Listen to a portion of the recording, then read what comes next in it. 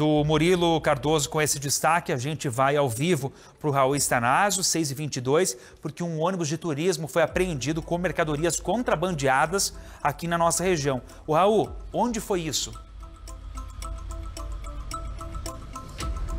Foi na rodovia BR-277, Wagner, na cidade de Santa Terezinha de Itaipu. A gente sabe muito bem, né, que a rodovia BR-277 aqui na nossa região é um corredor extenso de contrabandistas, né? E mais um caso. Foi depois de uma ação da Polícia Rodoviária Federal, também da Receita Federal, uma força-tarefa para tentar combater esse tipo de crime. E eles fiscalizavam ônibus, tá? Quando descobriram um do estado de São Paulo, ele iria até a, vila, até a região do Brás, lá em São Paulo. A gente sabe muito bem que tem um comércio enorme no Brás, lá em São Paulo, então provavelmente estas mercadorias seriam levadas para lá para depois serem revendidas. Durante a fiscalização, né, os agentes, também os policiais, encontraram diversos produtos eletrônicos, tinham patinetes, tinham celulares, também HDs de computadores, vinhos, enfim, uma grande quantidade, uma carga, Wagner, avaliada em aproximadamente 400 mil reais. E toda essa mercadoria não havia a documentação necessária, ou seja, então é, se caracteriza realmente o crime